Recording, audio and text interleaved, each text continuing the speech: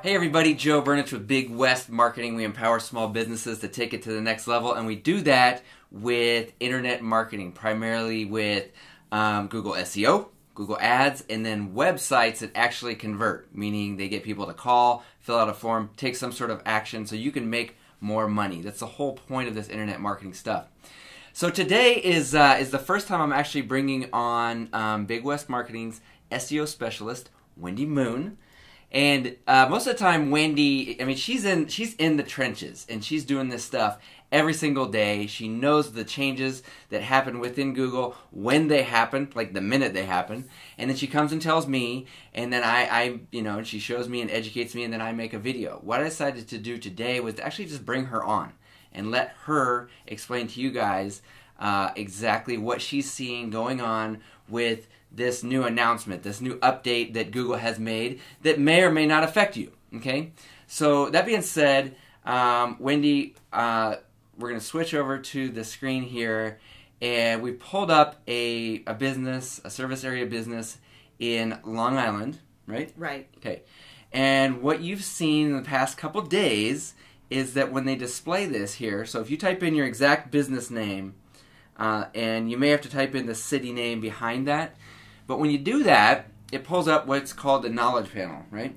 Right. Okay, and you've seen we're seeing here that when it shows the little map section of you know where you're located, where you what the area that you serve, um, what's different about this? And then we'll show it. We'll show an old one so that you can, can compare it. But go ahead. Sure. So Long Island, of course, it's long, and it's showing the entirety of Long Island. Uh, it used to be it was just a circle, and so that went up into New York City, up into Connecticut, and it just really wasn't accurately showing where the business was serving clients. So so it was misleading It because was. all they had, and we did find another Long Island business here that just has like this little this little dot or this little map marker. Mhm. Okay, so it's not showing the circle on this one. We couldn't want, find one specifically for Long Island. Um, what was the one that we saw that did have the circle? Did we we found one earlier, didn't we? Yeah, it was uh, Absher Carpet Care. Let's just see. And so that that's No, this no. just the dot. Um, and so the reason it's showing just the uh, the little marker on this one and this one is because these companies have not um, gone into their Google My Business and set up their service area. Is that Yeah. correct? Right. Try Peace Frog, Peace Frog, that's right. Austin. Peace Frog, Austin. There we go. That's so that the circle. That's the one. So that's when you correctly set up your service area uh, and put in, you know, all your zip codes or all the towns that you service. Okay. Uh, then Google in the past put this circle up. Okay, and they're still obviously doing that for some businesses. There's this is the rollout period. You know how Google does stuff. It's not all at once. Some areas of the country they hit first.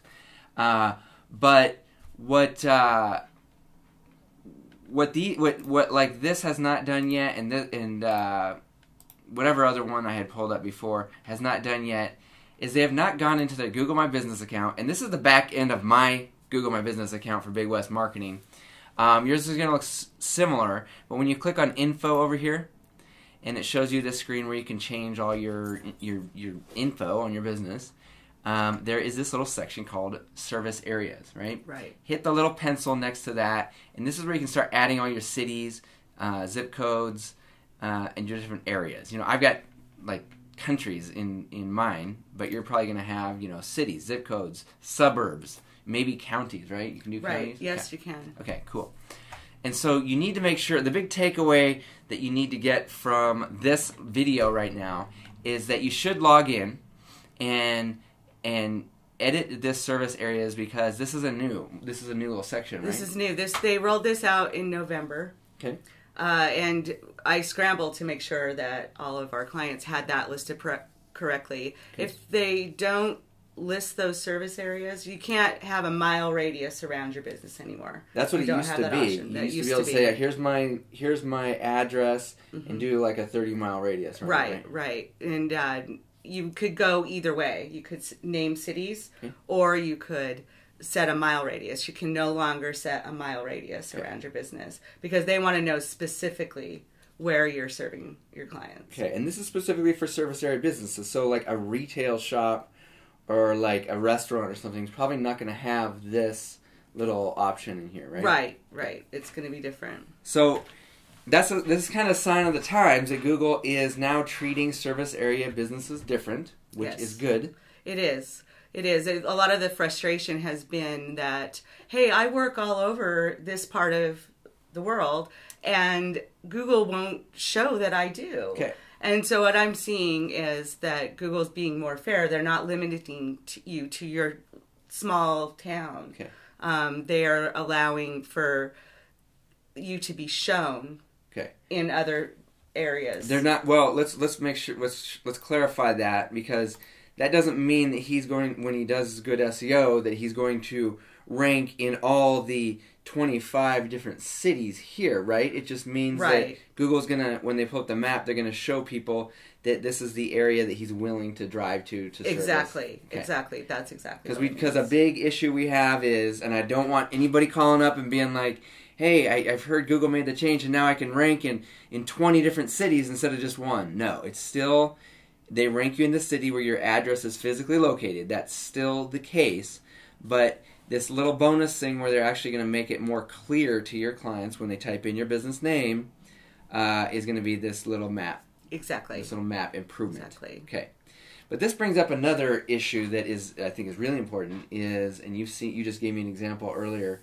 Um, it's not about your website so much anymore, as far as like what really helps you rank. Tell me, tell me about that.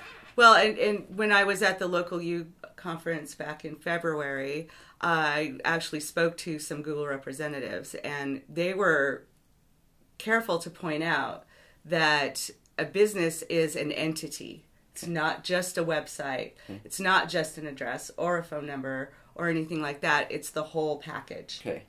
And that includes everything across the internet too. Exactly. So if you're looking to really get into SEO and you think that just having a really good website and filling out your Google stuff is, is all you need, um, think again because there's lots of different factors. And you gave me the example of our, I don't want to name the client, but you said that we had a client that a client in California who uh, had done some things on previous websites. He sold a domain Okay. uh, and changed the domain. And I was surprised to see his rankings return Okay. rather quickly within a couple months. You said he had changed over the years. He's changed his website Uh, domain, the address, The the URL several times. several times. And in the past, that would have really hurt rankings and it would have been really hard to get ranked back up because Google's looking at that and being like, well, you know, you can't even decide on a website, so you're probably not a very stable, legitimate business, right? Exactly. But now Google's being like, well, all kinds of other things are going are very consistent and and uh, he's got good reviews and like all the other stuff that's going on is trumping the the fact that he's changed his website a few times, right? That's right. And so what that proves, guys, and what you really need to understand is there's all these things that Google looks at that all add up to to your rankings, getting you ranked up to the top of Google and making your phone ring, getting the jobs and making more money for your business. It all depends on the entity, all the different stuff you have on Google and how prominent it is and how correct the information, how consistent the information, all that stuff is the game these days, especially in 2019. Google's getting really good at this. Google wants to know that you are what you say you are. Yes, and if you try to play these games with, I still hear people trying to play games with PO boxes, virtual addresses, their friends' address in another city, and trying to open up different businesses and this and that. Google's on top of that, guys. I mean, I know there's still people that did it 10 years ago and they're still getting away with it a little bit here and there. But you try to come in and play those games with Google right now, uh, it's going to make your life, it's going to make it really hard for you to, to rank in the future. Even if you clean everything up, it's still going to take a lot more time and you got competitors that are just doing it right and you're not. I mean, it's, guys, the game is keep it real and keep it clean. Is that Keep it real. Keep it real. Yeah. Okay. All right, Wendy. Anything else you want to add along these lines about this this new Google update? I just think that Google is trying to be more fair to service area businesses. In the past, you know, it seemed like they just don't care. Mm-hmm. They just don't care. And everybody's selling pizza, so they're just going to show the closest thing. Now, that being said, yes, ranking is still going to be determined by proximity. Yeah. But I think that Google has done service area businesses a favor by allowing their service area to be shown more accurately. Yeah, so this is a sign of things to come. Uh, Wendy was telling me, and that's kind of what the Google people were hinting at when you were at the conference. They were they were definitely hinting at that. So there's more common for service area businesses. If you own a service area business, meaning you go out and you do work at other people's homes or businesses, whatever that work may be, um, this is the kind of stuff that's going to affect you moving forward. So, that being said, uh, once again, I'm Joe Burnich. This is Wendy Moon with Big West Marketing. If you have any questions or if you need help with your Google marketing stuff, 406 493 1881. We'll talk to you soon. Thanks. Now, if you're a client of Big West Marketing, all of this is taken care of for you. We like to make this as simple as possible for our clients so you can focus on what you do best. Now, if you are not a client of Big West Marketing, right now we are offering a free consultation up to 30 minutes. That's normally a $97 value, so take advantage of this right now. Just call or click on the link to schedule a day and time that works best for you. So, if you're tired of being confused and overwhelmed, then contact us today. Someone from our office will show you step by step what you need to do to be successful online. If you are ready for a real solution, contact us today.